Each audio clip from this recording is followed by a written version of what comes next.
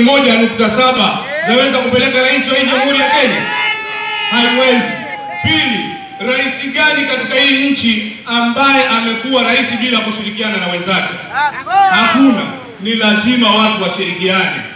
Mtu asije hapa kutudanganya ati anakuja anasema rais safari hii atakuwa mpwani ama Muislamu. Haya maneno hatutaki kusikia hapa. Nenda kule kwenu ukaseme rais awe mpwani, ndio tutajua wewe kweli unatupenda. Usije na hii porojo yako hapa kuja kutugawanya, kutuletea masuala ambayo hayana msingi.